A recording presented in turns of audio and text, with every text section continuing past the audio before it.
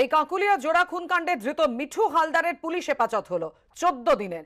নির্দেশ আলিপুর আদালতের। সুবীর চাকির বাড়িতে লুঠের ব্লু প্রিন্ট করে মিঠুই, অর্থাৎ ভিকির মা। কাকুলিয়া রেলগেটের কাছে শ্বশুরবাড়ি থাকা এলাকা সম্পর্কে ওয়াকি বহাল সে। লুঠের পর কীভাবে পালাবে ছেলে? ছক কষেছিল মিঠুই, জেরায় স্বীকার করেছে মিঠু। দাবি পুলিশ সূত্রে।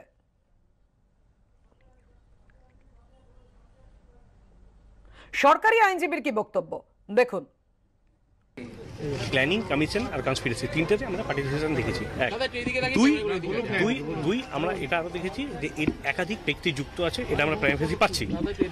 আমরা ওখান থেকে দেখেছি যে কিছু ওই ফিঙ্গার রিংস আর ক্যাশ নিয়ে গেছে সেটাও আমরা পেয়েছি।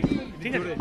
এগুলো উদ্ধার করার জন্য ডিপ রুটেড কনস্পিরেসি আর কে কে যুক্ত আছেন পুরোটা দেখার জন্য। কোর্টের কাছে পুলিশ কাস্টাডি চেয়েছি কোর্ট তিন তারিখ অবধি পুলিশ কাস্টাডি এবার আপনাদের দেখাবো তদন্ত কোন পথে। কি বলেছেন কলকাতা পুলিশ কমিশনার? দেখুন।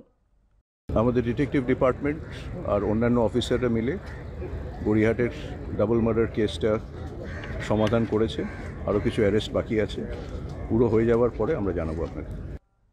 একবালপুরে সদ্যজাত কন্যা সন্তানকে খুনের ঘটনায় মাকে গ্রেফতার করল পুলিশ। মায়ের বিরুদ্ধে খুনের মামলা রুজু হয়েছে। পঁচিশে অক্টোবর পর্যন্ত পুলিশ হেফাজতে একদিনের কন্যা সন্তানকে খুনের ষড়যন্ত্রে কি বাবাও যুক্ত ছিলেন? কথা বলব। আমাদের প্রতিনিধি আবির দত্ত এই মুহূর্তে আমাদের সঙ্গে রয়েছে। আবির একেবারে এই যে প্রশ্নগুলো উঠছে, কি বলছে পুলিশ?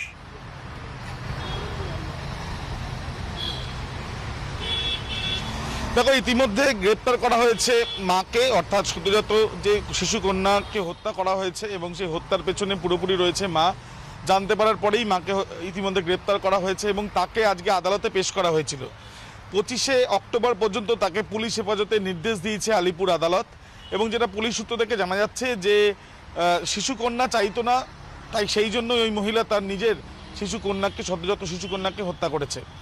এবং যেটা জানা যাচ্ছে যে যে বালিশ চাপা দিয়ে শিশুকন্যাকে হত্যা করা হয়েছে সেই বালিশ এবং শিশুকন্যার পরনে থাকা পোশাক ইতিমধ্যে ফরেন্সিকের জন্য পাঠানো হয়েছে। এই ঘটনায় হেফাজতে চাওয়ার জন্য অর্থাৎ পুলিশ হেফাজতের জন্যই রিমান্ড দেওয়া হয় এবং সেটাই আবেদন করে পুলিশ আধিকারিকরা। পিপি অর্থাৎ পাবলিক প্রসিকিউটর সেই আবেদন করেন। পরবর্তীকালে আদালতের তরফ থেকেও পঁচিশ তারিখ পর্যন্ত হেফাজতের নির্দেশ দেওয়া হয়েছে।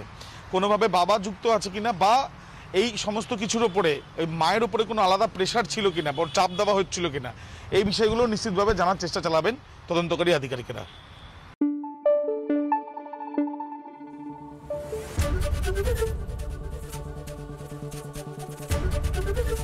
এবিপি আনন্দ, এগিয়ে থাকে এগিয়ে রাখে।